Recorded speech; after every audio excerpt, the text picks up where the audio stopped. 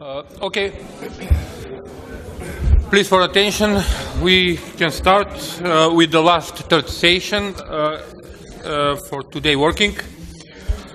Uh, I'm Professor Oliver Andonov, the moderator in this uh, session, and first speakers will be the Mr. Eric Donners with the topics of the Start Smart Traffic Accident Reporting. Mr. Donners, here you are.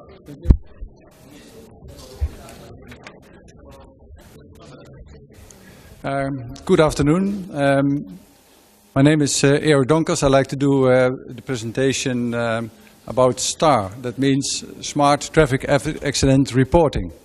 I think an issue that uh, we all into when you talk about road safety, accidents are very uh, important. And what I would like to tell you today is a project that we run in the Netherlands uh, at this, this, this moment. And I want to share you some experiences with that. Um, I'm from VIA. VIA is an ICT company that delivers uh, the software for uh, road safety analysis uh, in the Netherlands. That has been used by uh, all the municipalities, the provinces, the Ministry of Transport and the police itself. Um, and I'd like to uh, share with you uh, what we're doing. Um, then we look at the Dutch road safety policy. Um, we know, think we know that it started in the 1970s in Netherlands um, by collecting uh, the data from accidents. We based our road safety policy on that database. And we were very successfully. And you can see in this graph that the number of people who are killed and injured in traffic went down uh, dramatically. Just because we based our decisions on evidence based on accidents. Uh, the Dutch approach uh, I like to show to you in a scheme is that uh, the police always started to go to an accident and they make a report of uh, what happened uh, with the accident and all the data go into a national database. Um, my company developed the software for uh, to use uh, that data so that uh, all municipalities, consultancy, everybody who's involved in road safety has an easy way access to the data and to do all kind of analysis based on accidents. During the years, we started to collect more data, the data that help us uh, to do better analysis. So, for example, we collect data about speed, uh, citizens report, and design of the road. That kind of data we started to collect so that it is possible for everybody to have uh, easy signal when something is wrong in uh, road safety or to monitoring the policy, to do analysis and evaluation, all based on accidents and data we collect together with the accidents. So we did well, uh, I showed in the graph, but there was always a but in that kind of situations. We had an evidence-based approach, but what happens when the data started to fail? Then you have a problem. And that's what's happening uh, right now in the Netherlands. Um, we have a big problem with underreporting of accidents by the police. It is in fact now that no municipality, no province knows if they have a safe or unsafe situation in the Netherlands nowadays. So our successful approach of road safety is going away. It is not possible anymore to have a, a proper monitoring system, to do analysis, to do evaluation based on accidents. And it is absolutely necessary. The number of people killed in traffic is going down, but people who are injured in traffic is going up for five years now, and we don't know what to do because we don't have the right figures. So therefore, we developed this project. This project is called STAR. STAR means Smart Traffic Accident Reporting. It is an innovative collaboration uh, providing reliable accident analysis by focusing on reporting uh, accidents uh, efficiently. Let's say there are three items in there. The first one is it is an innovative approach and a collaboration between different kind of organizations. That's the first step. Second step is that we want to make the reporting of accidents more efficiently uh, with the define our goal to do proper analysis. How we did that is that we start with the cooperation. I told you in the beginning that the police was responsible to make the reports of the accident, but they say, okay, we don't want to make a report of accidents anymore because we're here to uh, not to make do the paperwork. We're the police, and we do we have to look if people uh, was over speeding and if, the, if was drinking and driving, and that's where our focus is on. So. Um, still we said we have to solve this problem and work together and therefore we said let's look at the complete chain from an accident happened a proper record should be made from that accident so that we can do proper analysis and for that chain, we start to work together with the National Police, the Dutch uh, Association of Insurance, and VIA. Let's have a small look at these three organizations. Uh, the initiators of these projects, the first place is the police. The police want to support uh, um, everybody who is involved in accidents. We want to make sure that the situation is safe and if people get injured, that they get help and they want to make sure that there is a proper uh, registration of an accident too. The insurance associations, uh, they want to have uh, improving of the customer services. Because people say in the Netherlands, I have to pay for that, What do I get back for that? And they want to have an efficient process of, uh, of, of all the claims. And that's an interesting point because a lot of people in the Netherlands have a car, they have a form in their car, a paper form, for a European uh, insurance uh, form that you have to fill in if an accident happened. And I know a lot of European countries have the same form. This form is more than 50 years old and it is now time to modernize that kind of reports. So the insurance people were very interested in this idea. And via my company, we are responsible to give a good insight in road safety and make sure that we have the good data so that we can do the work on road safety. So these three, or these three organizations start to work together. The police said, we don't have money. So the insurance and my company have to invest in this. So we have to develop the software and we have to run the project. The whole idea we started this is that we said that the paper form is not more of this time. So we wanted to have a mobile uh, reporting by using an app on a smartphone. So therefore we made a choice. The first choice we made is that if someone is involved in an accident, that guy is responsible for the report of the accident. That's the first step we made. So it's not the police anymore, it is uh, the people who are involved in the accidents. And of course, we have in the Netherlands more than 9 million smartphones, and we have about 16.5 million people. So it is very easy to use your smartphone with an app to make a report digitally. If you see the number, 9 million uh, smartphones, uh, it is hard to make an accident where someone, the, where nobody has a smartphone. That will not happen anymore because the number of accidents is still growing. So we have a lot of smartphones. We have an app on the smartphone and we say the people who are involved in the accident are responsible for the record of the accident. And we want to improve the data collection. First we said we want to make sure that we have all the accidents in the database. Small accident, severe accident, all accident we wanted to have in the database. At the same time we want to have the data real-time available. Don't wait a year till we get the data from the police. We want it immediately available so we can respond if anything happened. And we want a complete overview of the accidents. Not only a small items from the police, but a complete insight into what's happening, the maneuver diagram, photos, everything we want to have uh, in the database. And of course, it is uh, like my organization, we are a private company. Still, we want to make sure that the database is open and available for everybody who wants to use it, because it is public data. We only take care of the collecting, collecting of the data and we deliver the software to do so. So the STAR approach looks like this. If an accident happens, it's a small accident, and the police is not going to that accident, people are responsible to make a report of the accident by using the app themselves.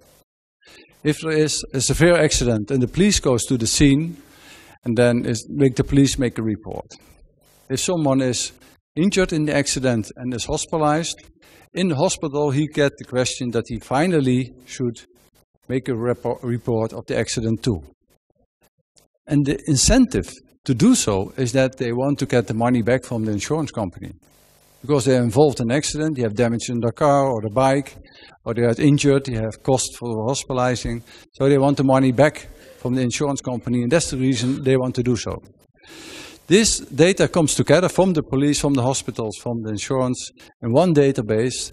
This information goes to the Association of the Insurance um, and to the police. Um, and all this has been done in the technically, IT technically environment of the insurance companies, so that uh, they are allowed to have private information too, because there's a business relation between them. After that, when they send in the form, immediately the form with the information from the accident is sent to our organization and directly goes into the software so that the municipality knows exactly how many accidents happened per day. And a lot of data is available, but not that much. We also thought if we have a questionnaire with more than 20 question, questions in there, people will not fill, fill in the form. So we make it more easy for them so that they really start using the app in reporting the accidents.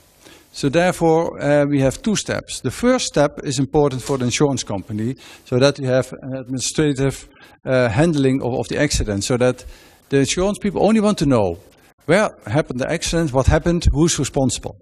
And as soon if they know who's responsible, they can uh, finalize the whole process. And because that is digitally done by using an app, they don't need people to hire uh, and to do the paperwork. It's been done automatically.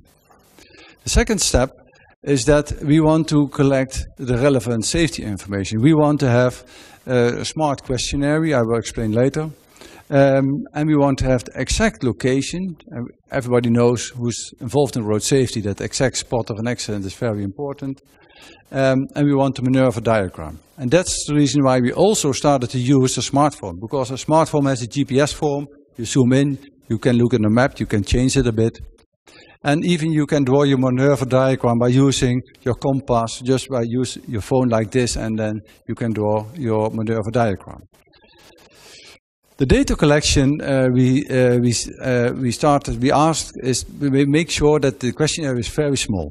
Uh, we only ask the GPS code, uh, the date and the time of the accident, and then uh, a small questionnaire about the, what happened, the situation, and some information about the people, of course, that we really want to know. After that, um, you can finish the form at home if you don't want to finish it on street. And we asked if you you can have your email address so that we can contact you later if you want to do an in-depth study uh, on a particular kind of, uh, of accident. But the most of clever thing is what we also do is that we use a digital uh, connection between different databases to collect data. You don't have to ask uh, the weather conditions nowadays to someone because we have a database available wherein these weather conditions are reported and we start using that databases. I show you. At the moment that you point on the map the exact location and we know the date and the time that this accident happened, automatically the form will fill in itself in the cloud.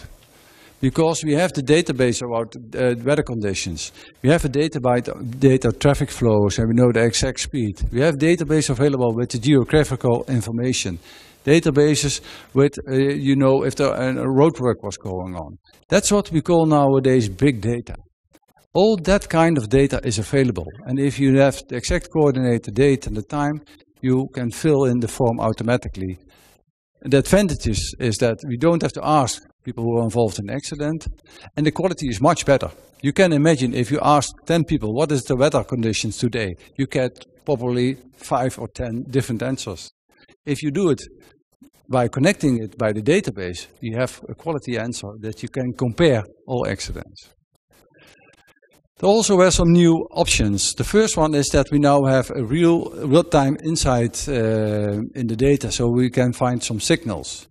Uh, it's something new happened, uh, then you don't have to wait it. You can see it uh, after a few days of something happened. If, for example, we change the traffic lights and someone made a mistake and still accidents happen, don't wait a year. You have seen, can see in one or two months what ha what's happening. Um, and because you have more statistics available, it is uh, easier to do a research, uh, to do analysis. In the Netherlands, we brought down the number of accidents uh, very much. Uh, if you want to do it more, low, you want to bring the number of accidents more down, then you need more detailed information. It is not enough to know that it is a biker what happened. You need to know now what kind of bike, what conditions, uh, what kind of street. You need more information to find and then to de define the special targets group to bring down the number of accidents. And therefore, we need more data. We also started to use to develop uh, new tools um, so that uh, we can inform the policy uh, on a better way. I have seen this morning a lot of presentations that people say we build our road safety policy on a local way. But what is the problem when you do it locally? Politicians, municipalities, they have a lot of tasks, many tasks. And one of these tasks is road safety. So if you don't bring road safety into them an easy way, it is hard to make decisions and to make money available for road safety. And therefore, we started to develop an app for on uh, a smartphone. I have a small film here that you get an impression how to work.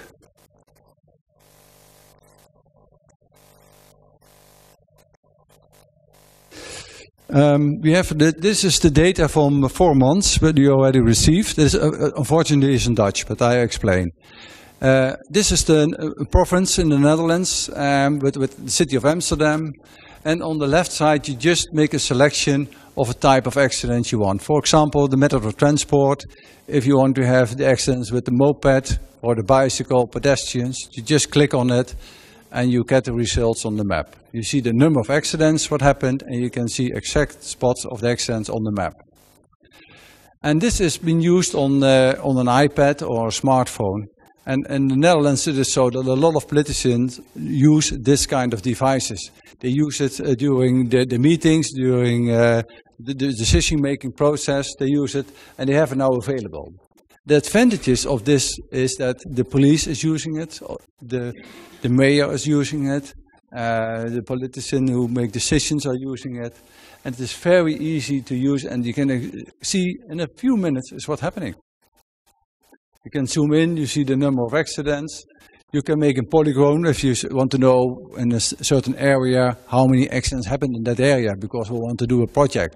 Or we have a lot of uh, citizens who complain about the unsafetiness of an area. You just make a polygon like this, you can see the number of accidents, the numbers in here. You can see what is the problem, is that uh, what age is the problem, what is the matter of transport uh, people are involved. Only a few items are in there, just only to make sure that we give a signal to one to have to make a decision is what's going on. Of course, you also can uh, go zoom in on, uh, on a street and have uh, detailed information of every accident. Uh, the blue points are the number of accidents. The, this is, for example, four accidents. Just by clicking on it, it tells you what kind of accident happened over there. So there's some detailed information, but not too much. And the only reason why we do it on this way is because we want them to ask the questions, okay, we have a problem there, what are we going to do about it? And that's just the only thing what we want to reach. After that, we have the professionals who use our software to do a detailed analysis and to find out what's going on. So, my last thing what I like to show to you is that um, we also made uh, another important step is because we closed a, a safety deal. If you want a project to do like this, you don't do it only with three organizations like the police and insurance company. You need a lot of organizations to stand behind the whole idea. Therefore, we signed in our national uh, road safety conference uh, last month the, the, safety deal by 11 companies so that all the, um, the Ministry of Transport is involved, all the provinces are involved, all the municipalities involved. The research institutes are involved, like SWOV, a lot of people know that. and uh, the road safety organizations are involved. And all they say is that they really believe that this new approach of STAR gives road safety a new boost. That it is important that we make an, a registration of all accidents and all kinds of accidents, and that the way they will help us to make this project work. Okay. Thank you very much. Thank you, Mr. Donkers. Our next uh, presenter is Mr. Tapan. Uh, Mr. Tapan, here you are, and please, uh, no more for 15 minutes. Thank you. Uh,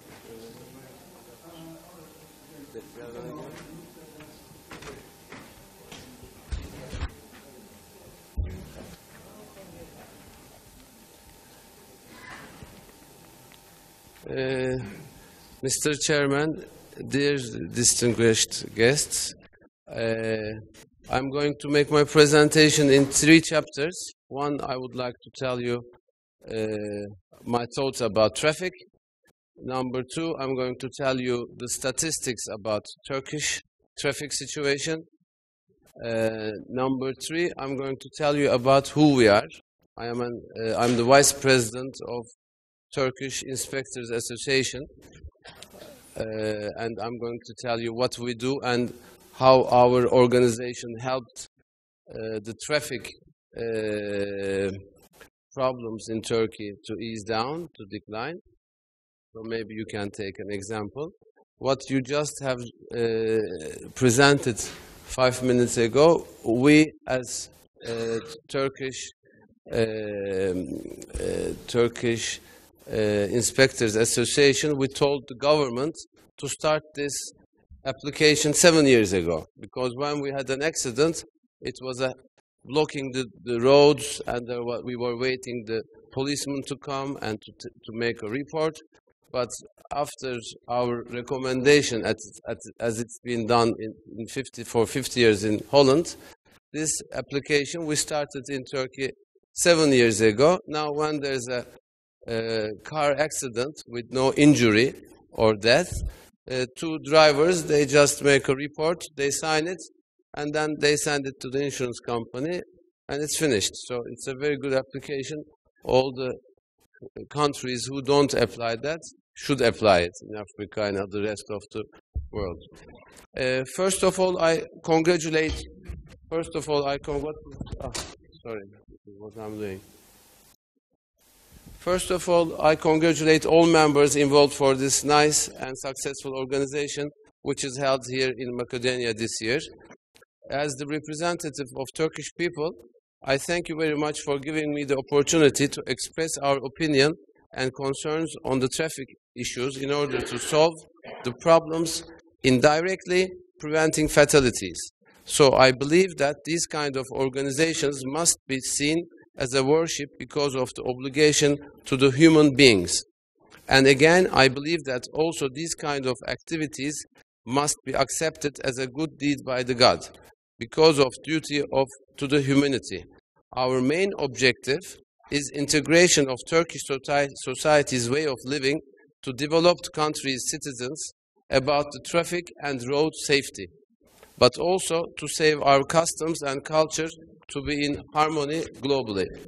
Now, during my presentation, I want to mention about some details of realities in Turkey about roads, vehicles, drivers, and similarities, correspondence, compare and contrast of the behaviors each other with Turkish and other nationality drivers, and finally about honorary traffic inspectors.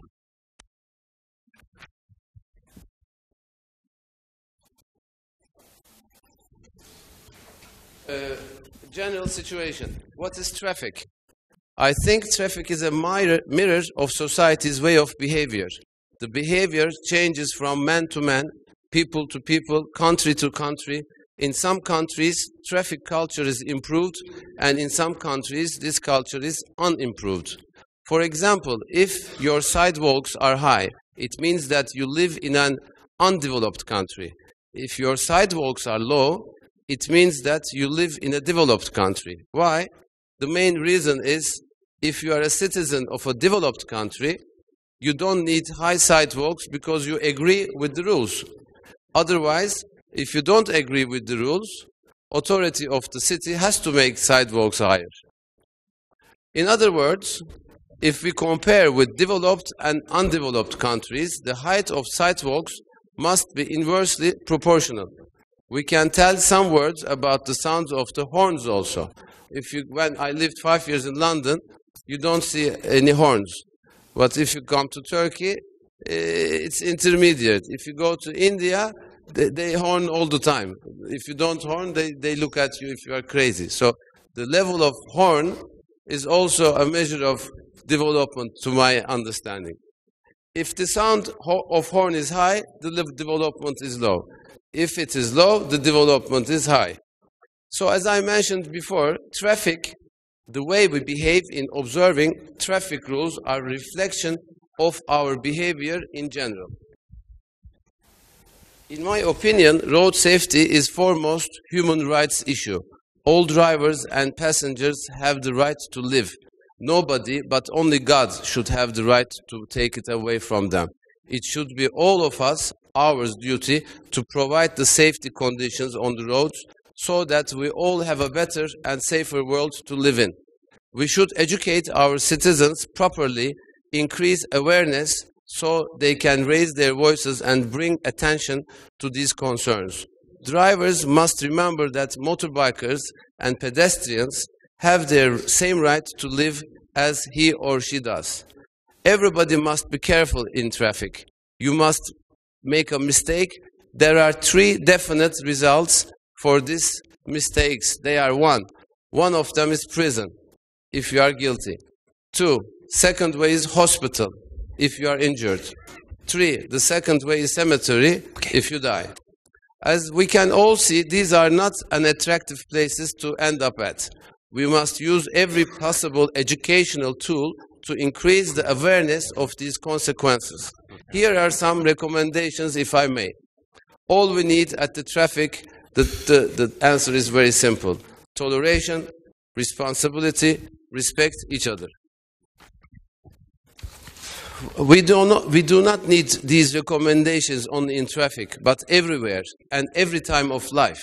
A person who obeys the rules, even in his personal life, will easily obey the traffic rules also. Responsible person in life means responsible person in traffic. A person who tolerates the other will also tolerate the people in traffic.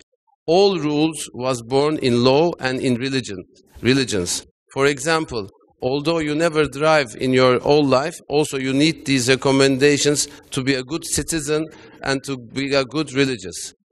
Now, here you can see uh, we are a country of 75 million uh, population. Uh, uh, we don't have 2013 2014 uh, uh, accurate numbers, so it's until 2012. Number of uh, accidents by 2012 in Turkey is 1,296,636. The number of deaths is 3,750 in 2012, and the injury is 268,102. I will give you some more statistics which will give you an idea about Turkey.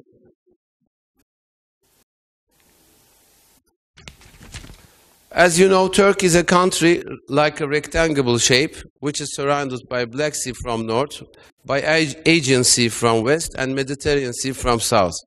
Although she is surrounded by these three seas, the ratio of passenger transportation is only 1.5%. Transportation of freight is only 5%. Totally, the ratio of passenger transportation on the road is 92%. Totally, transportation of freight is 85%. The summary of all these results show us that airways, railways, and seaways don't be used frequently like Germany, Canada, and Japan. I have to give you some information about Turkey statistical. Total roads are 64,000 kilometers, 51,000 ordinary roads, 11,000 kilometers divided roads, and 1,987 kilometer motorways, highways. Number of traffic police officers in Istanbul is 2,500. Just now, there are 12 million 300,000 vehicles in Turkey, and 2.6 million of them is in Istanbul, 30% of the whole country. Turkey has 1,700 accidents a day. Only in Istanbul, we have 600 accidents a day. We have uh, 11,000, 110,000 injured and 7,000 deaths of today. That's, that's, that is like a, like a war. It's been increased tremendously. Uh, and in Istanbul, uh, we have 9,000 injured. This, this 270 a year is not correct. The, the, the, it must be more than that. Maybe one fifth of it.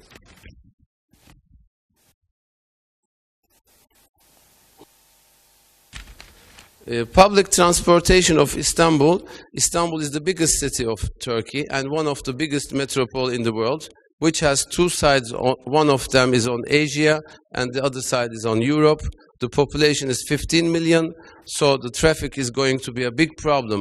Many people pass from Asia to Europe and from Asia to Asia, from Europe to Asia every, every day by using two bridges. Now the third bridge is under construction and now there is a tube uh, by the road under the sea under construction. The length of Bosphorus is 33 kilometers and one and a half kilometer wide. So it is a natural sea road which doesn't need any repair or something like that. Unfortunately, we do not take advantage of this natural opportunity and also not everybody is using public transportation. Based on our experiences, there must be appealing factors for public transportation. Here are some. It must be cheap and economic, comfortable, full of safety and security, fast and frequently run, and integrated. Lastly, I'm going to tell you about who we are. Uh, honorary traffic inspectors. 16 years ago, in 1998, there was a big revolution on the traffic laws of Turkey. The new and interesting formation was honorary traffic inspectors. The main reason for this creation was that the count of traffic policemen were not enough, so a lot of traffic guilds were no results and no punishments. The government decided to give some authority of the policeman to some civil citizens and they can write to license plate of some vehicles as a policeman. This exercising became extraordinarily successful and was deterrent of the traffic mistakes. But there were some qualifications requirements for inspectors. They must be over 40 years old and must be alumni for any university, graduated from a university, and also these people must be very respectable and important men and women in their society. For, for example, a car passed during the red light of traffic, but there is no policeman. If there is an honorary traffic inspector, he can give penalty to the driver. Now, there are approximately 28,000 inspectors in Turkey, and 3,800 of them live in Istanbul. And I'm the vice president of this uh, association and president of next year. Uh, our association advises law changes when necessary, as I mentioned earlier. For example, we advised the General Assembly seven years ago for changing the rules of accidents, which is accepted. After an accident without injury or death, two drivers will accommodate the document together and send to their insurance companies as it is in European countries. It became more practical for drivers and for everybody in which the traffic was no longer held blocked and diminished the need for the policeman to write reports. Yes, we are inspectors, honor, honorary traffic inspectors, but everybody can make a mistake. Here is a considerable agreement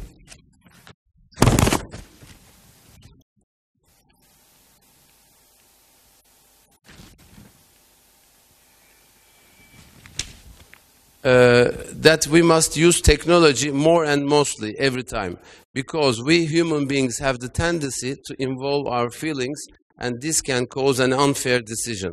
Besides, people do not argue with technological devices used to catch the violations. When you compare the roads, vehicles, and accidents of developed and undeveloped countries, you will see the differences between these countries. But if you compare the airways and planes, you won't see any differences because there are no initiatives, spoiled roads, asphalts are out of order for pilots. But all are avail available for users. Here is the importance of technology. The traffic is a very serious thing and do not tolerate any mistakes. And the road safety is necessary for everybody. With these realities, we have to improve the traffic culture, education, and industry and technology. Most of the traffic fines we come across are passing in red light, changing lines dangerously, not to obey turning rules, parking in no parking zones, driving too closely to the front vehicle, using horn when unnecessary. As you can see, most of these problems are education oriented. We can solve traffic accidents by improving the education level of the citizens.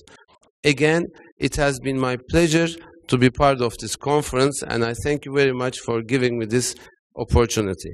Now, uh, before I finish my speech, uh, I decided the last minute to share with you our project booklet of 2009. Uh, I want to give, because it is Turkish, I was not planning to make it in English and distribute to you, but I thought I will make a very quick explanation and some of the countries may take some ideas out of it. That is why I brought it with me. So I'm going to tell you page by page what it is all about in two seconds for every page. If you open the first page here, the first page where there are advertising, this is to tell that advertisings with campaigns, but creating ambient advertising, we call it, surprising people or scaring people to, to, to create awareness of the dangers. For, for an example, here you see a children's uh, face hit by a car. This is put on the front window of the cars where it is school areas. It is not nice. You, when you see it, you, you feel bad, but it is better if it can help uh, creating awareness.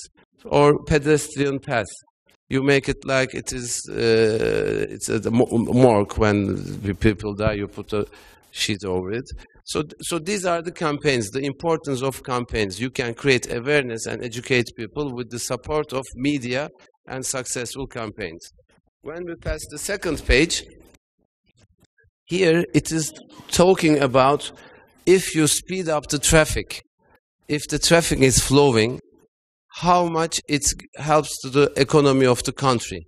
Because instead of uh, arriving from one destination to another destination 10 minutes earlier with hundreds of thousands and millions of cars, the pollution to the uh, environmental reasons, as well as the, the consumption of extra oil, that is a huge burden on the economy. So this is to explain how important it is to have uh, uh, roads which are without bottlenecks uh, and the signalization's importance.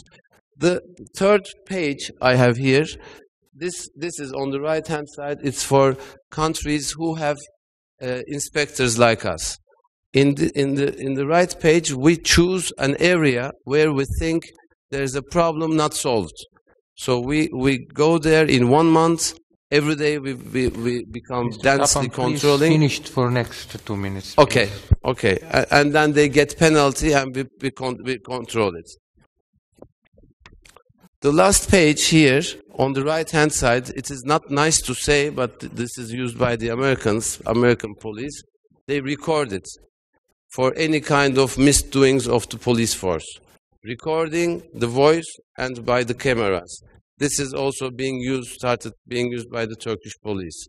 In case, it is also to protect the police in case somebody is accusing the police for not doing. The last page is we, we create sponsorship for the traffics. When the traffic is blocked, uh, ambulance, uh, helicopter ambulance. And the right hand side, it's a very uh, cheap solution, mirrors. When you put the mirrors for uh, uh, places where you cannot see the turning, that that is a, lifesaver. So this is for you to keep. Thank you for listening. Thank you. Now, uh, uh, we'll have, we have um, uh, change in the, our session. We'll go with uh, Mr. Branimir Miletic and uh, analysis of the traffic safety in Serbia with maps of risk, municipalities, current campaign of agency of- for traffic safety. And uh, after that, we will go to Mr. Uh, Dan Quinn, and last will be the Mr. Martin Doyle. Dobar dan. Moj makedonski nije idealan, pa ću prezentaciju izložiti na srpskom. Napred se izvinjavam prevodiocima. Verujem da ćemo se razumeti. Pričat ću nešto sporije, a i prezentacije su na engleskom, tako da mislim da će svako naći sebe. Poštovano predsjedništvo, dame i gospodo, želim da vas pozdravim ispred Agencije za bezbednost saobraćaja Republike Srbije. Zahvaljujem se domaćinima na pozivu i na ovoj sjajno organizovanoj konferenciji. Uvek kad sam u Makedoniji, osjećam se kao da sam kod svoje kuće. Ja imam dve prezentacije koje ću spojiti na neki način, jer su bliske jedna drugoj i mogao bih da ih nazovem sa jednim pitanjem gde smo, šta radimo i šta ćemo raditi. Ova prva prezentacija odnosi se na analizu stanja bezbednosti saobraćaja. Ali pre toga pokažem slike iz Srbije koje su preplavile internet, a verujem da ste mnogo toga već i videli. Dakle, prelazim na stanje bezbednosti saobraćaja. Druga prezentacija odnosi se na indikatore bezbednosti saobraćaja i o tome nešto kasnije. Ovde možete videti diagram od 2000. godine kako se kreće broj poginulih u Srbiji do 2013. 2013. zabeleženo je 650 poginulih, što je najmanje otkako se prati statistika bezbednosti saobraćaja u Srbiji.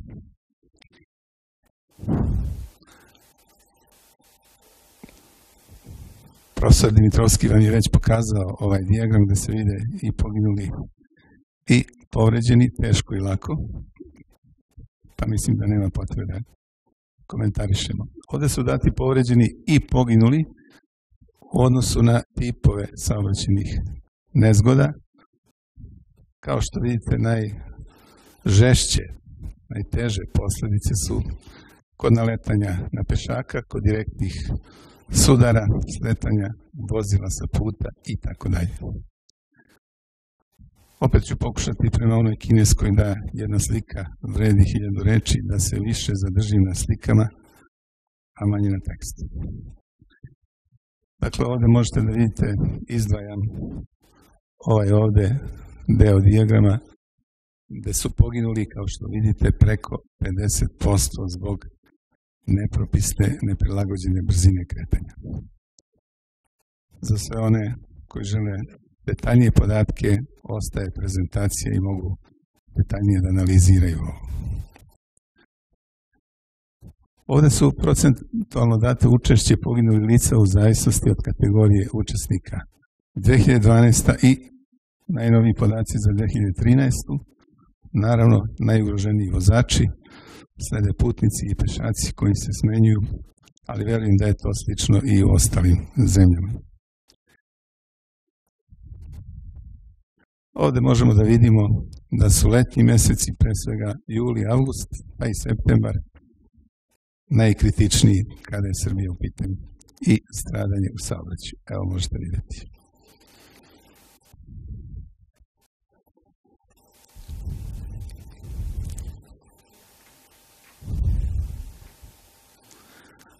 A ovde možete vidjeti učešće poginulih vozača, pešaka i putnika u zavisnosti od starosti.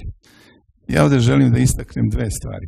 Jedna je da preko 65 godina pešaci preko 50% poginulih je u toj starostnoj grupi. Dakle, više od pola pešaka u Srbiji su stariji od 65 godina. Takođe, jedna od najugroženijih kategorija starostnih su mladi, kao što vidite ovde, od 26 do 35 godina. Evo još jednom o pešacima, starost preko 65 godina, to je ovaj dijagram ovde.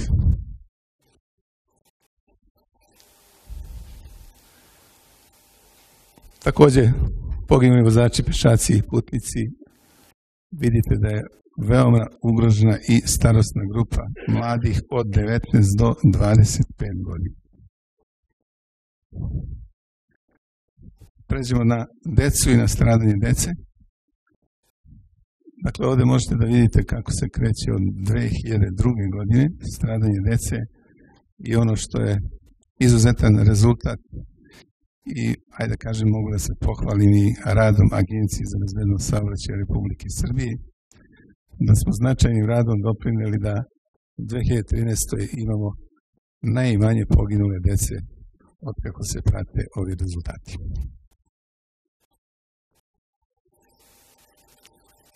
Takođe povređena deca, možete da vidite ovaj dijagram od 2002. do 2013. godine.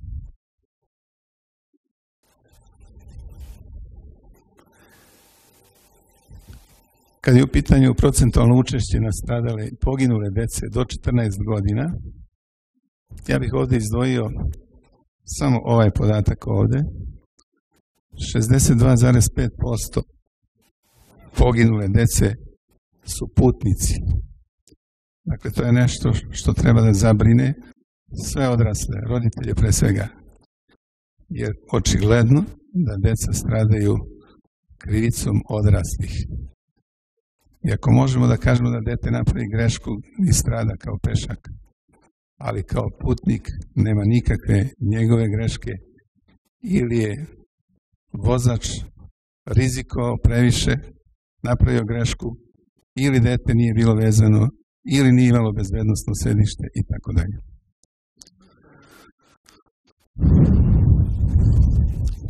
Ovde možete videti mape rizika javni i saobraćeni rizik. Javni znači u odnosu na broj stanovnika, saobraćeni u odnosu na broj vozila. U Srbiji po opštinama, naravno ove crne opštine su najkritičnije, tamo su najviše ugroženi u saobraćaju. Ovde možete vidjeti uticaj alkohola i brzine. Znači, alkohol, ovaj gornji dijagram, i brzina dole od 2002 do 2011. godine. Šta je ono što radimo u zadnje vreme? To su određene kampanje kojima nastojimo da, ajde da kažem, popravimo stanje, promenimo svest ljudi. Posebno bih izdvojio ovu kampanju pažnja sad koju posvećujemo deci i to pre svega đacima prvacima i đacima drugog razda osnovne škole, dakle sa 7 i 8 godina starosti i mislim da smo tu imali značajne rezultate. Takođe, ovo je kampanja Traktor na putu bezbedan i uočljiv, imajući u vidu za, da su traktori takođe jedna od ranjivih kategorija, odnosno vozači traktora i putnici na traktorima. Radimo jednu kampanju za mlade, delom vezano i za konzumiranje alkohola. To je nešto na čemu ćemo raditi narednih meseci, kao i kampanju posvećenu letnjim mesecima, odnosno stradanju, videli ste povećanom stradanju učesnika u saobraćaju tokom leta.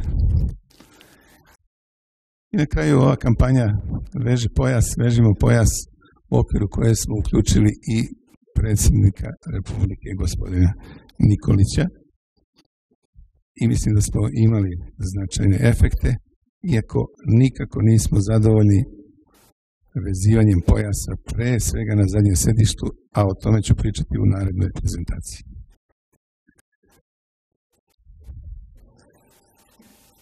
Ovo je jedan slajd, odnosno baner koji su kolegi iz Crne Gore postavili na internetu da bi predstavili kako se može pomoći Srbiji u ovim uslovima ogromnih poplava i ljudskih života i materine štete. Ja bih zamolio drugu prezentaciju.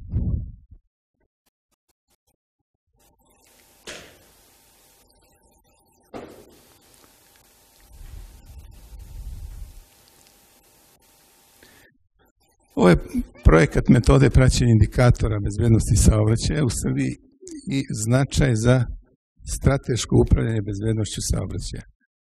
Mogli bi da kažemo da je to za nas možda nešto novo, razvijene zemlje već odavno rade to. Šta je suština toga? Da prestanemo da čekamo prolivanje krvi na putevima i da onda vršimo analize kao što su i one prethodne.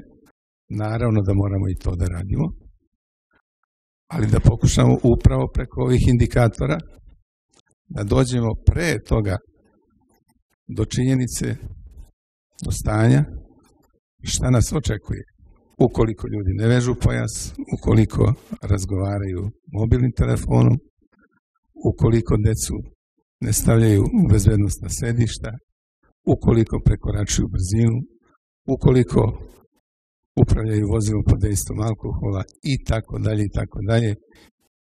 Indikatori su brojni, možemo da ih nabrajamo desetine i desetine, pa i stotine, ali svakako da smo morali da se opredelimo za neke ključne, najosnovnije.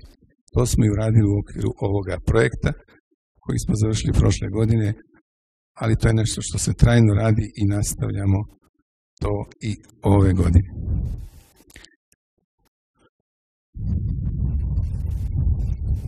Naravno, projekat je baziran i na najboljoj evropskoj praksi, iskustvima, definisana je metodologija, odabrali smo neke ključne indikatore, vidjet ćete koje.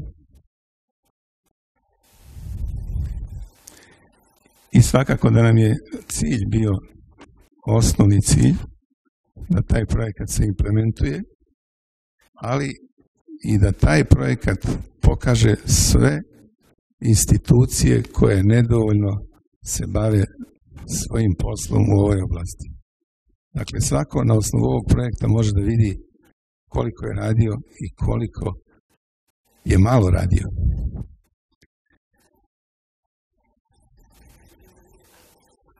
Dakle, evo šta je projektni zadatak definisao, te ključne indikatore, njihovo rangiranje, izbor nekih osnovnih indikatora, vidjet ćemo koji su posle, definisanje modela i predlog za poboljšanje. Evo koji su to indikatori. Dakle, sigurnosni pojas, sistemi zaštite dece u vozilu, upotreba sigurnosnih kaciga i vožnje pod dejstvom alkohola.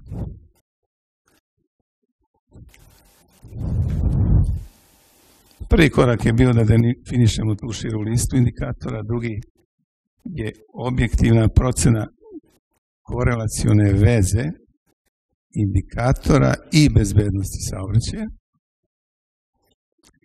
i naravno primjena ekspertske ocene za izdvajanje onih ključnih indikatora koje sam predstavio. Evo šta je ono što mi smatramo da bi u Srbiji bili ključni indikatori. Dakle, ovde možete da ih vidite. Procenat upotrebe sigurnosnog pojasa, procenat vozača koji poštuju ili ne poštuju brzinu, procenat upravljanja pod dejstvom alkohola, procenat upotrebe sigurnosne kacige, zatim upotreba mobilnog telefona, vreme odziva hitnih službi, procenat upotrebe dnevnih svetala i na kraju starost vozila. Evo neki odabrani rezultati projekta. Možemo da vidimo gde se nalaze pojedine zemlje, naravno tamo gde je crna boja, tamo nije dobro. Ili još bolje da pogledamo kako stoji Srbija i neke druge zemlje, ili još bolje u odnosu na neke druge zemlje. S obzirom da bi se o ovome moglo mnogo toga reći, ja ću samo da kažem dve stvari. Jedno, kao što vidite, Srbija, bez upotreba sigurnosnog pojasa na zadnjem sedištu 3%. Nemačka 97%. Kada sam jednom prilikom rekao mom dragom profesoru Milanu Vujaniću, koji je trebao da bude danas ovde, da bismo vezivanjem pojasa na zadnjem sedištu, bar onoliko koliko se vezuju vozači i putnik na prednjem sedištu, mogli da spasimo najmanje 100 ljudskih života. On, koji je ekspert u ovoj oblasti, je rekao minimum 200. Znači, evo šta stručnjaci misle o tome.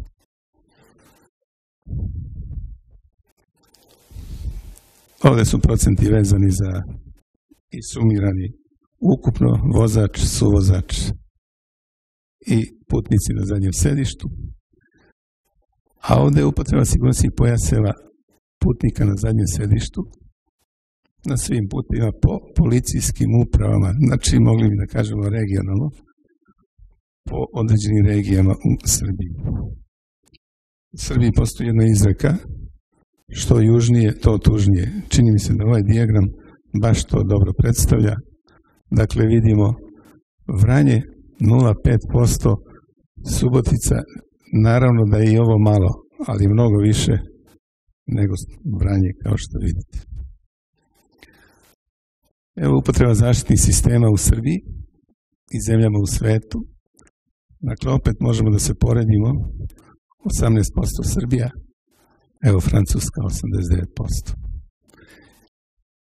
Takođe za decu do 12 godina upotreba zaštitnih sistema nije idealno, ali je nešto bolje nego oni pojasevi koje sam pokazio. Ili evo recimo vozači procentualno koliko vezuju pojas na ovim mapama. Kao što vidite, putnici pozadi, cijela Srbija, nažalost, crna. Inače, neki standard koji se u Evropi uzima jeste da se ispod 70% vezivanja pojasa tretira kao jedan, kao 10%, kao, znači uopšte se ne uzima u obzir. Ono što je iznad 70%, to se rangira. Dakle, 70% je neka kritična granica do koje se mora doći. Procenat vozača koji upravljaju vozilom pod dejstvom alkohola, nažalost, kao što vidite, dosta crnih regiona i nešto bolje stanje kada je u pitanju korišćenje zaštitne kacige od strane motociklista i vozača mopeda. Šta su nam očekivanja? Pa ja ću samo dve stvari u odnosu na ova dva slajda da kažem dok vi gledate. Jeste da konačno prestanemo da čekamo prolivanje krvi na putevima, da bismo vršili analize i onda predlagali neke mere. Daleko je bolje i bezbolnije i jeftinije ovo pratiti gde se nalazimo ako uzmemo osnovne parametre, dakle indikatore bezbednosti saobraćaja i drugo, ovaj projekat, ova studija koju nastavljamo da radimo, apsolutno će svim institucijama koje se bave ovom oblašću staviti do znanja koliko rade ili još bolje koliko ne rade svoj posao. Ja vam se zahvaljujem. Thank you, Mr. Miletić. And now, Mr. Dan Quinn, World Rescue Organization, please. Here we are. just before the presentation is loaded, um, just like to thank uh, the chair, the organisers of the event, and all of yourselves as well for giving us the opportunity to deliver this presentation to yourselves. Thank you very much. My name is Dan Quinn. Okay. Um, my name is Dan Quinn from the United Kingdom Rescue Organisation. The UKRO is a group forming part of the umbrella organisation which I'm here to talk to you today about called the World Rescue Organisation. My role within the UKRO is I'm the extrication lead. So I'm responsible for a team of 40 to 45 assessors, fire and rescue service, and medical personnel around the UK that deliver the rescue challenge concept that I'm going to tell you about today. A colleague of mine is also going to join me, and he is the head of rescue disciplines for the UKRO, and he's also the International Development Programme Manager for Romania. And the reason I've brought him along today is so that he can actually provide you with an example case study of the WRO and the International Development Programme in action, actually what it looks like. So, to start, so the World Rescue Organization was formed in 1999. As I said, it acts as an, an umbrella organization to individual national rescue organizations of which I'm going to show you a slide in a minute to identify the 15 current members of the World Rescue Organization, most of which have gone through the International Development Programme. It's a registered charity. You can see the number in the bottom right hand corner uh, within the UK. And as I said, it operates with the sole support of volunteers, but all of whom are serving fire rescue service personnel and or medical professionals within their own organisations. So these are people that are maintaining their skills and maintaining their competencies on a daily basis. What we seek to do through international development is develop international partnerships, like this, for example. We then also look to host a World Rescue Challenge, which I will show you the, the last events that we've hosted for the previous 15 years. This year's is going to be in England. And also through the International Development Programme. Now, I'm sure that this presentation will be made available at a later date. And if it is, the links that are integral within it will take you to more information about the International Development Programme and the World Rescue Organisation. So you'll be able to find out a bit more information with regards to what we do. The final thing, as I mentioned, we have 15 members over five membership levels currently, with another few to be joining us this year, for example, Moldova and Nigeria. It's a little example of the organisations that currently form part of the World Rescue Organisation at the various different levels that I mentioned. And you can see we range across the whole of the world, and we've got representatives that are equivalent to the United Kingdom Rescue Organisation being level one members, and also those that are by association develop and progress within their own focus country. So, what do we aim to do? the aim is basically to provide a platform for rescue and medical personnel around the world to share and advance rescue science and technology. And basically, the reason why we do that is looking at the UN Decade of Action. I've witnessed presentations that have taken place today that, regards to the first four pillars, we undertake a hell of a lot of activity with regards to road safety messages to improve circumstances and situations to try and prevent road accidents from occurring. And with the best intentions, unfortunately, we'll never be able to eradicate that. So, what we focus on is the fifth pillar. What, what happens once that crash has occurred? What happens? What do we do? How can we get better at saving life at that stage? And that's the focus of the World Rescue Organisation. It's a, just a quick quote about the management of victims, and you can see it's originated from a national peer review. The reason I like to focus on this is when you read the content of the fifth pillar under the UN Decade of Action, it puts a lot of emphasis on the medical trauma care related to the casualties.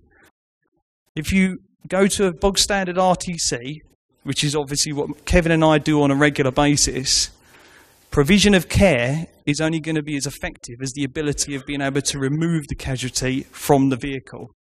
And when you're at that stage, you're actually extricating a person from a vehicle. All three emergency services need to be working together and coherently. They need to be all fulfilling their roles. And this is, again, what we do as part of the World Rescue Organization is promote that development. And we term it as the casualty-centered rescue. This slide is supposed to be demonstrating what's called trimodal distribution.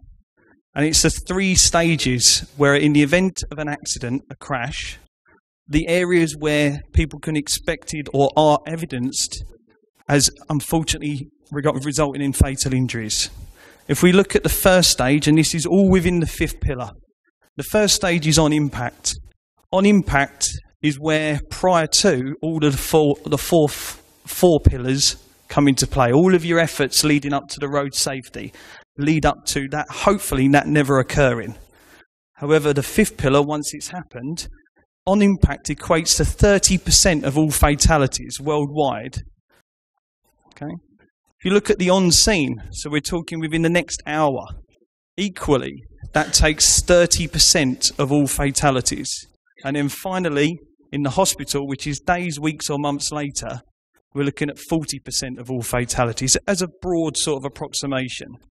So the fifth pillar, as it's demonstrated there, really tackles the on scene and the in hospital. We use a term called the golden hour within the UK.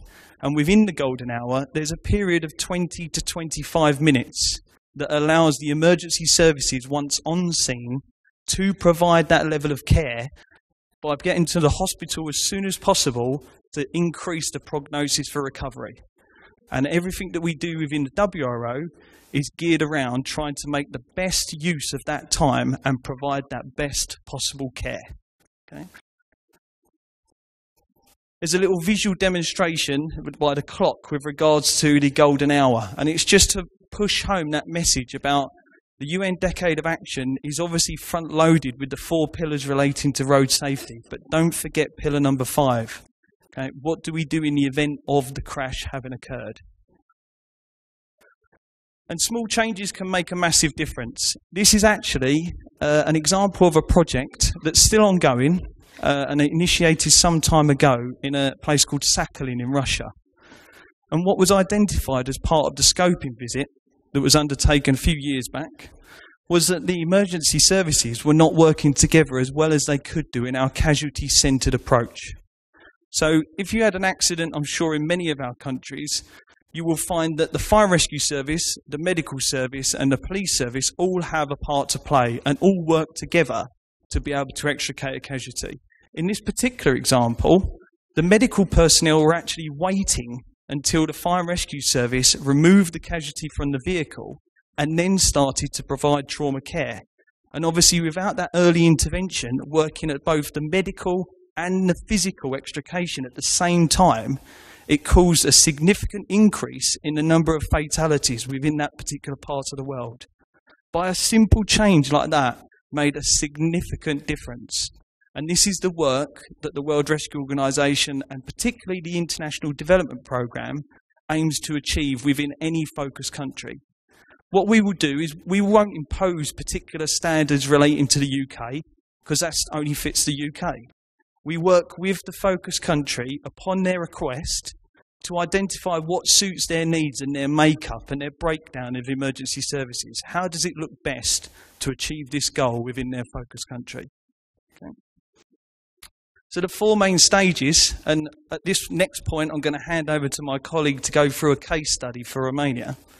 This is how it generally works. At stage one, we receive a request for assistance, and it can come in many forms. And again, when you get the presentation, that link will take you to the website, which details exactly how you would go about doing that. We then work with the focus country to identify what does it look like, what the problems exist, go out and actually visit the relevant organisations and generate interest in order to progress and ultimately lead to a sustainable process within the country. So stage two is we implement an agreed action plan start off with a project initiation document, and we look to come into a focus country and spend ideally three to four years to a point where we can be able to walk away and the focus country is completely self sustainable. Right? Uh, and at that point, we would expect that they would have attained level two membership of the World Rescue Organization. So that's short of only hosting a World Rescue Challenge. So, stage three will be that development progressive development depending on what the needs are, and I'll show you that with the Romania case study. And then finally, the follow up and monitoring. As my colleague will go through, we're at that stage now with Romania. We've done a lot of the work. They've got themselves into a position where they're level two members, and he's now going to be going out next week to do that stage four.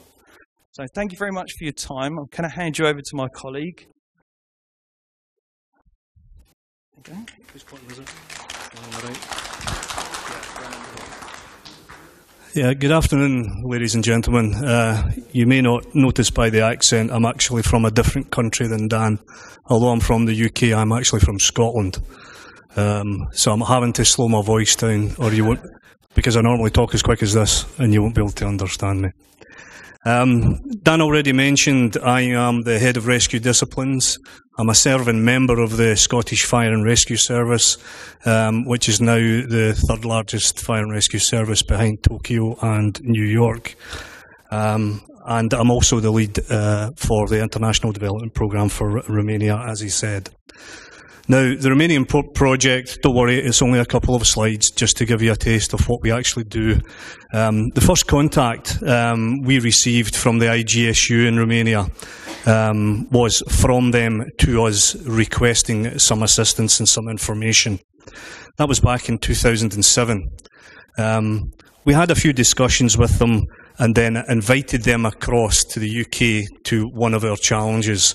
Um, and in fact, they came across to Cardiff uh, to the 2008 World Rescue Challenge. Um, they actually came in 2007 to look at the United Kingdom Rescue Challenge. Um, they were impressed by what they seen, um, especially in the World Rescue Challenge, where up to 18 to 22 different countries from around the world take part in a challenge platform to pass on ideas, to gain information, and basically what we are looking for is to come up with the best practice in order to deal with road traffic accidents once they happen. No one organisation in no one country is the best. We are all the best together. We can all learn from each other. And it's all about partnership working and getting best practice from each other. And some of the photographs you'll see are actually from the rescue challenges themselves. In 2009, we developed a training program and uh, one of the UK Fire and Rescue Services went out to Romania um, and assisted with some training and development with them. And together, we basically uh, came up with um, their own development plan. Now, this was created by the head of the IGSU in Romania. It wasn't the UK's plan, it wasn't our plan, it was Romania's plan for what they required and they needed. And that's the most important thing that we do. It's whatever the development country needs. And it's their plan that we take forward, not our plan. So in 2011, uh, we had a scoping visit um, and they wanted to run their own national challenge. And national challenges are a fantastic platform for training. And I'll come on to the reasons why in the last slide. Um, training is most important. If we don't train together with the other emergency services, the, unfortunately the casualty will not have the best chance of survival. So in 2012, the first Romanian challenge was held and a full logistics and assessing team went out from the UK.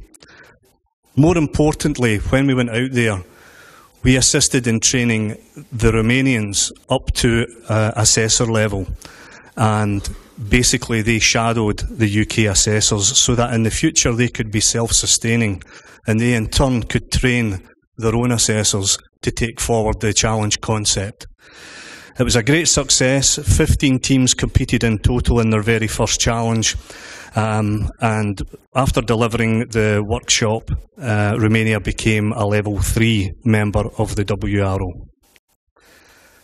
Moving on from there, two uh, of the SMURD Foundation medical assessors uh, trauma assessors attended the 2012 World Rescue uh, Challenge, and two firefighters from the IGSU came across to the World Rescue Challenge in London uh, to shadow assess. So already in two and a half years, we have some Romanian personnel already at world level using their skills to spread and teach across the world. In 2013, uh, just last year, was the second Romanian National Challenge. It was held in uh, uh, Oradea. uh, basically, and uh, sorry, it was held in uh, Targu Mures, and over two days, and basically nine teams took part. Now, the reason there was less teams was because Romania took everything on board and they held regional challenges. So their first challenge was one challenge was 15 teams. In the second year, they held nine individual rescue challenges round their regions, with each of those regions having 10 teams taking part, both for trauma and for extrication. So it was the top nine teams from those regions round Romania that took part in their national challenge. And they also had complex scenarios uh, rather than standard scenarios where we use more simulated casualties. In fact, we actually use live uh, casualties within the vehicles.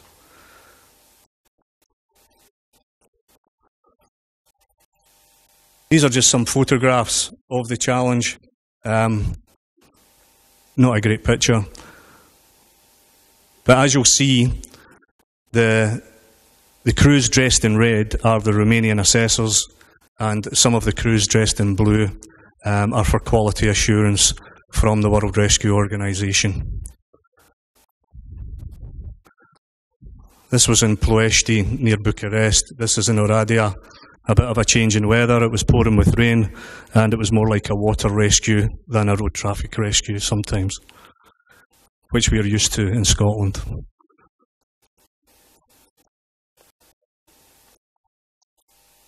This is the trauma challenge. We developed a trauma challenge where uh, the trauma teams um, go in and do moulages, and again they're assessed by qualified medical personnel, um, and we have doctors. Uh, that's one of the surgeons from uh, the Oradea Hospital, and the final extrication.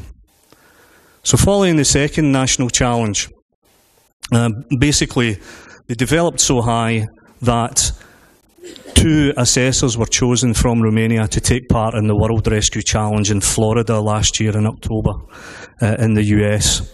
And they basically ran the World Trauma Challenge between the two of them. And that's the sort of standard that they've reached in, uh, so far in three years in Romania. The ongoing development we're having is uh, a creation of a sustainable action plan, and basically, this is Romania's action plan. So, through the Romanian uh, rescue organisation, they have developed a plan for themselves to take forward and push them forward, and we will assist them. As I say, it's what the developed country needs, not what other people require to move them forward. And the third Romanian National Challenge is being delivered in Oradea this year in October. Um, and they're actually wanting to introduce uh, USAR, Urban Search and Rescue. So they're going to have uh, an extrication challenge, uh, a trauma challenge, and an urban search and rescue challenge this year, which again is pushing the boundaries and moving the country forward. I did say I was going to mention the benefits of training through rescue challenges. It creates a platform I would uh, like- of competition. Please, uh, the finish to two It's minutes. the last please. slide. It's the last slide. Okay, it demonstrates the skills of all personnel. They can practice and learn new techniques from each other. It gives exchange of ideas. They can be uh, assessed against recognised standards and provide constructive feedback. But the last sentence is the most important. This will facilitate worldwide best safe practice, and that's what we're here for, is to create a best safe practice and use the skills from every country in the world, what's best practice, and develop that round the rest of the world. Those are some of the challenges since 1999 in the countries they've been held in. And if you need any further information, that's the email address for both Dan and myself. Thank you very much for your time. Thank you very much. Have chance to uh, look at the exercise of the uh, fire rescue team uh, two days before. Uh, and now the last uh, present presenter for today is the Mr. Martin Doyle. Uh, please help with the technical about the partnership in practice.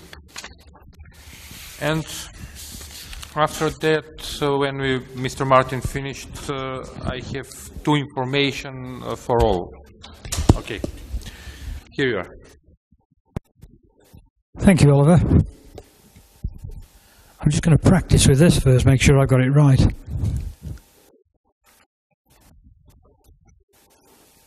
Fine. Good afternoon. My name is Martin Dowell. I'm the Senior Manager for Road Safety within Cheshire Fire and Rescue Service. I've held this post since 2007. I also work for the Chief Fire Officers Association in Great Britain and hold the Vice Chair of the CFOA Road Safety Executive Board. I'm Chair of CFOA's Road Safety Practitioners Group, which is one of the four work streams come out, which come out of the road safety strategy. I also chair CFOA's Northwest Fire and Rescue Services Road Safety Lead Officers Group.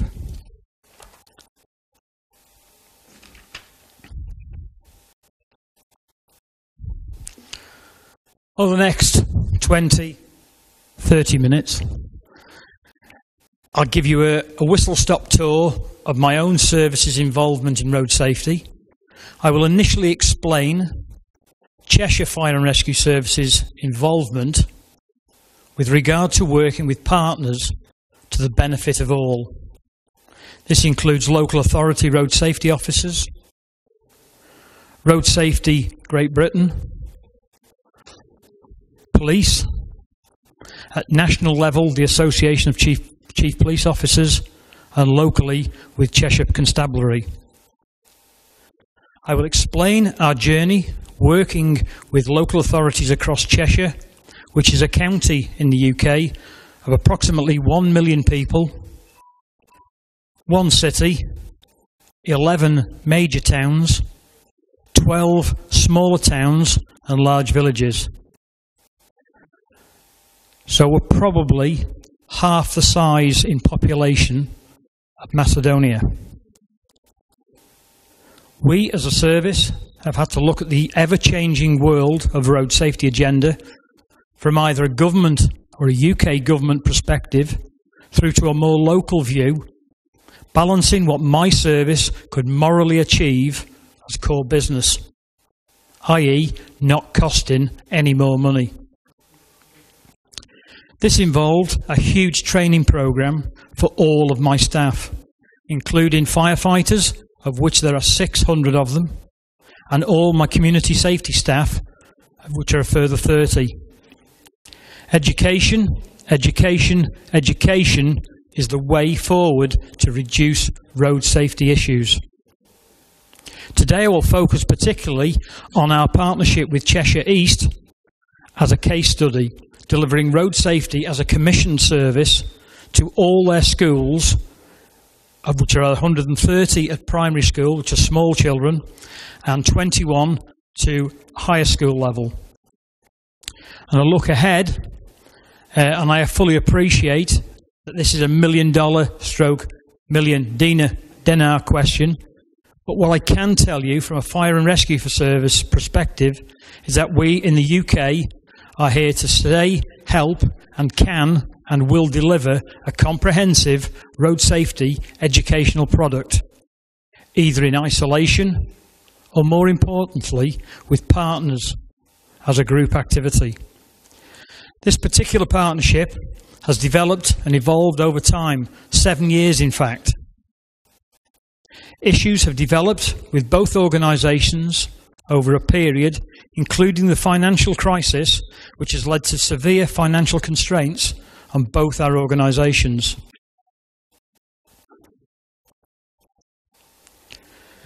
This will look through the journey of what we've uh, achieved. Drive Survive was first delivered across Cheshire from June 2000.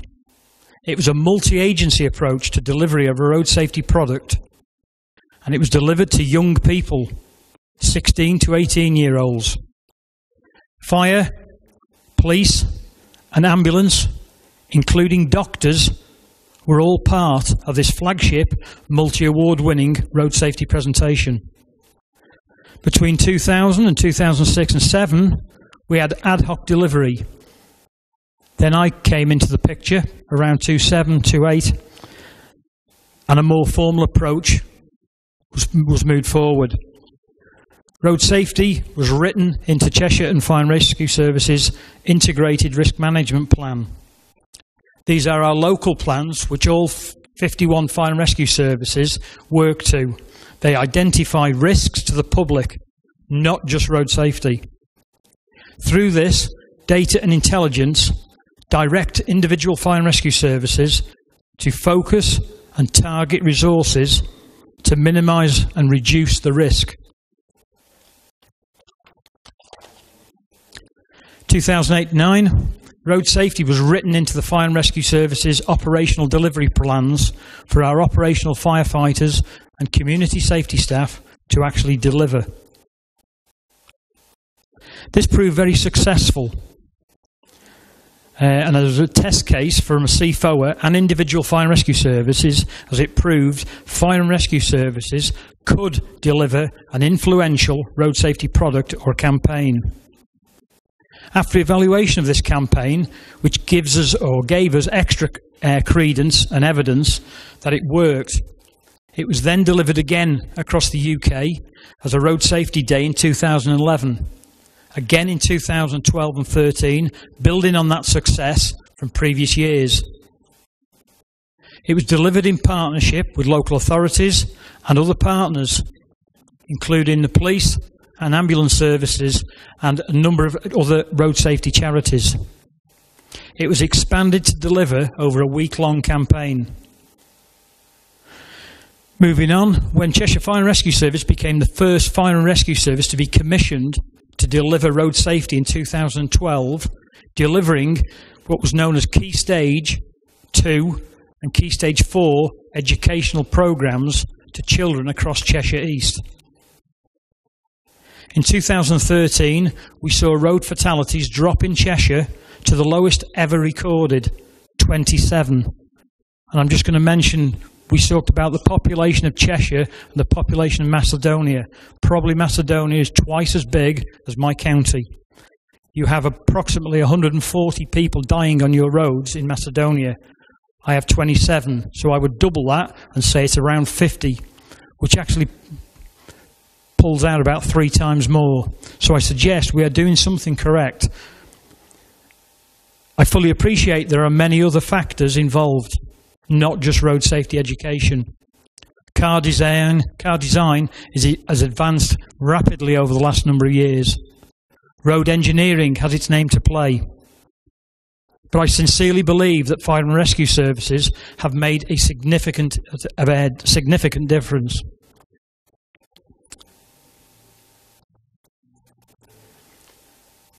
Cheshire Road Safety Partnerships came into existence in 2007, where local authorities worked in partnership for the first time, where local authorities worked in partnership with the police and fire services.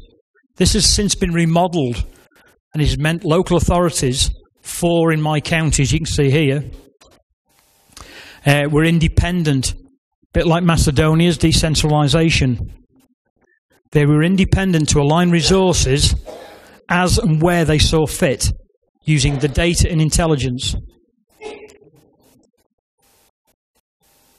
Making sure the gentleman on the front row is okay. Thank you. this started a new process where local, local authorities asked fire and rescue services and police to be part of local authority multi agency road safety plans. With the four unitary areas all with varying road risks, developing relationships with both our services. My county is a county of contrasts. Halton and Warrington, at the top of the screen in blue and red, are urban, large known risks to pedestrians and cyclists. With our two larger areas below, Cheshire East and Cheshire West and Chester, more far more rural, with major towns and cities isolated by Cheshire's rolling countryside, which highlight other risks. Young drivers and motorcyclists, to name two. On top of this, further implications to the road safety agenda came into place with an appointment of a police crime commissioner, PCCs. Some of these PCCs had road safety in their agenda, others did not. In Cheshire, the Police Crime Commissioner had road safety as a priority. This proved to be a real positive outcome. Through discussions with this chap, uh, senior police officers have now developed a joint working road safety plan, fire and police. This is now developed into a joint working road safety plan, started in 2014, a month, just over a month ago, for both blue light emergency services to work to. Financial pressures on councils have meant that local authorities have had to work at delivering their responsibilities in a more diverse way, but not just in road safety. In Cheshire East, that meant commissioning the road safety educational element to ourselves, the fire service. And this really is the case study. In 2011, Cheshire Fire and Rescue Service were commissioned to deliver road safety in two specific areas to Key Stage 2, which is around 9, 10, and 11 year olds, and Key Stage 4, which is 15, 16, and 17 year olds. This was done due to financial constraints on the council and hence the commissioning to ourselves. We developed educational packages for both Key Stage 2 and 4, working with Cheshire East Local Authority. We trialled the programmes in a number of schools, working with teachers and students to ensure we looked at the correct level of engagement and interaction by fully engaging with the students. We wanted that one to one benefit. We had to make this work. The eyes of many services and authorities were upon us, and we had to make it work successfully. We trained our community safety staff, 30 of them, running training sessions, utilising a complete quality assurance matrix to ensure their competence to deliver would be maintained over a long period. The biggest issue we actually found was trying to fit the requirements into a one hour session, especially at Key Stage 2, where the children found the interactive programme so hard to keep to one hour. They asked question after question after question, which was really good. At Key Stage 4, the issue was fitting all the serious road safety issues into a programme during a period where exams at this age group take precedence in the UK. So it was difficult to get that, in, that set into the educational curriculum, which we did overcome. We have just been, we've just finished our second year, and we were 100% successful in delivery of these two key stage programmes to all our schools 130 primary schools and 21 high schools. We looked to the Royal Society for the Prevention of Accidents, ROSPA, with regard to evaluation. We worked with them to develop a model in line with their E-valu-it toolkit. We sent a member of staff, I sent a member of staff to work with ROSPA to develop this area of the programme. We knew we had to evaluate the programme, we had to report annually on this programme, and we have had this contract for four years with a further two year secondment. The service we are delivering in our county of Cheshire. We as a service have fully embraced this education in road safety. This may look complex, but I'll tell you it's not. The diagram shows the way in which the aims and objectives of the educational programme were directed at both Key Stage 2 and Key Stage 4. And they're di directly linked to the causes of deaths and injuries. First, we looked at the KSI data, which is up on the far corner. The causes behind the deaths and injuries. This information then drove the shape of the contract between ourselves, the fire service, and Cheshire East Local Authority Council. The goal was ultimately that both parties wanted, wanted was to achieve a reduction in casualties to the young. The aim is how we look to get where we wanted to be in the future. Key Stage 2 looked at safer routes to schools, walking, cycling. One of our colleagues spoke earlier just before lunch about bicycling, and that's exactly what we're looking to do. And we also looked at distractions, mobile phones, iPods, whilst walking and cycling. Key stage four took a little different route, distraction from an older point of view, including seatbelt wearing. It's better to be cool than be dead cool. Drink and drug driving, passengers and peer pressure. The evaluation was undertaken before and after surveys, where 100 young people out of each group, we measured the difference between their behaviours and attitudes against young people who had not received the presentation. This work is in progress and will be continued over the next four years. Early findings, though, from the first two years of this project show real positive results. So that real positive feedback, education works. Education, education, education. So look ahead. Across the UK, Fire and Rescue Services have utilised CFOA, the Chief Fire Officers Association, who are the professional voice of the UK Fire and Rescue Services, who guide individual fire and rescue services to achieve their goals in many, many areas of business, and in this case, road safety. Together, we have written a three year strategy and are now in the process of delivering this strategy, showing the direction CFOA wish to direct individual fire and rescue services to travel. The future role of the UK Fire and Rescue Services in providing road safety education, because we are not an enforcement body. That is the police's op. Nor are we an engineering company. But we are extremely good at engaging, especially with young people. Fire and Rescue Service in the UK has a statutory duty to attend road traffic collisions, but not to deliver road safety education. In 2011 and 2012, there were 380 fire related deaths in Britain. In 2011 2012, there were nearly 1,800 people killed on Britain's roads. More than four times people die on the road than from fire. The British government have signalled to the fire and rescue services need to take on a wider role to make our societies safer for all, not just from fire. Are, they are looking to us to be more of a community protection agency.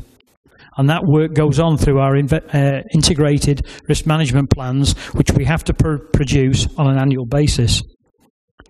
Fire and Rescue Services are looking to link with the government's national framework for road safety as an educator, looking to embrace the big society through collaboration, not as a statutory role, but as a commission service. We are looking to bring value to our local authorities, and in this case, real value to Cheshire East Council. But that's not all. We are delivering real value to real people, to all the students and young people with whom we engage. That is who we are really looking to serve to make a real difference to society in reducing casualties, misery, and mayhem to families. This is proving that the fire and rescue services can deliver first class educational road safety interventions, either individually or in partnership. The cost of a life in the UK is approximately £1.6 million for each and every road death. The cost of this programme that My Fire and Rescue Service is delivering on behalf of Cheshire East Council costs £60,000. Peanuts, I would say. This is proving to be a real winner for all. Education, education, education. Uh, Mr. Doyle, two minutes, please. This is the road safety strategy from CFOA, and I have some with me if anybody wants to take one away.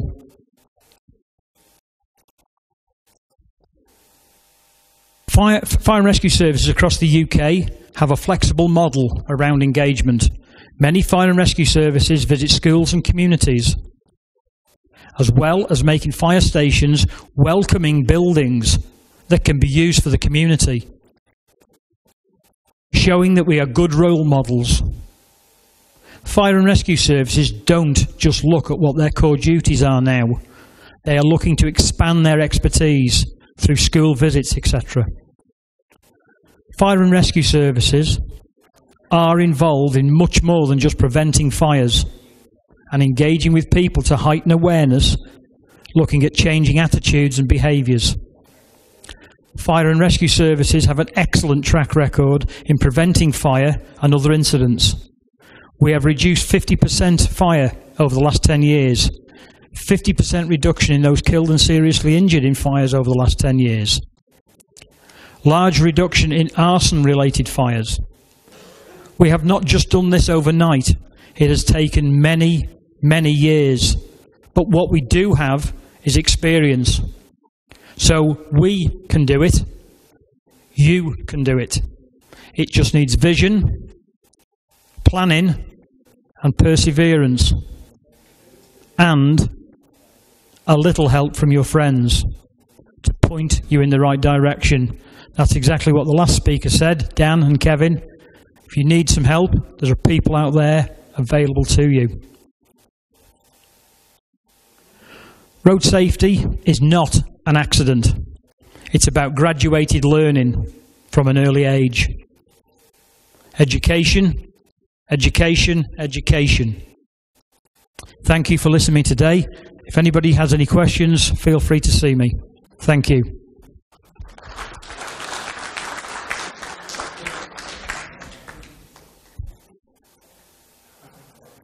Okay, thank you, Mr. Doyle.